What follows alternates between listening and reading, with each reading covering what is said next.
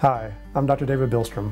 I'm the medical director of the International Autoimmune Institute at Bingham Memorial Hospital. Now in our previous installments we talked a lot about toxicity, whether it's toxicity that comes in from the outside in our quite toxic world nowadays, but also every cell in our body makes toxic byproducts of metabolism every day that we have to get rid of.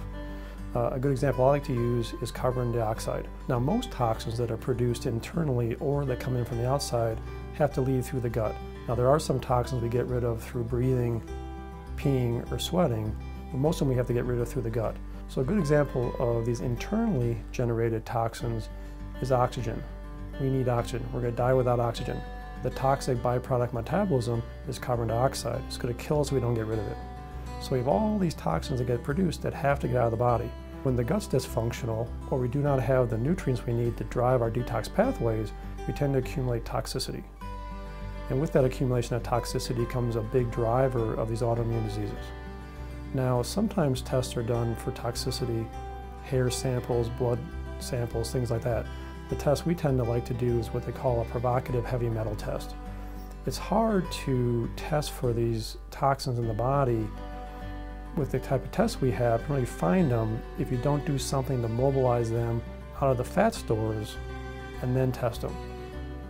Typically, if toxins are water soluble, we're just going to pee them out. It's really the fat soluble ones that are problematic. They get into our fat stores and leach out slowly but surely every day, just driving the body crazy, throwing off the immune system, etc.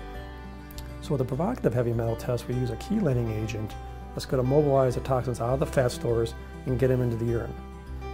Now, there's tens of thousands of environmental toxins that can get in and drive the body crazy.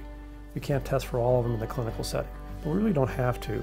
If you're having a hard time getting rid of the heavy metals, you're going to be having a hard time getting rid of other toxic agents as well. The heavy metals tend to be particularly bothersome to the body, things like lead, mercury, cadmium, nickel, cesium, those kind of things. Now, lead and mercury typically never leave the body through the urine, so if you ever do a urine test for those, you're not going to find them unless they're attached to an agent that actually gets out through the kidneys and comes out in the urine. Provocative heavy metal test uses a chelating agent that actually binds lead and mercury so you actually can test for them in the urine. Now in blood testing for these heavy metals, you have to have a very high level to ever detect them. You could have levels that are very problematic for the body, but you're really not going to find them on a, a traditional test. With the provocative heavy metal test, you're really going to be able to see what's in there, what's driving the body crazy, and how much. And then we can use this test to see how successful we are when we try to get rid of these toxins over time. In parting, I'd just like to say, please remember, your body is always ready to heal. It just needs to be given a chance.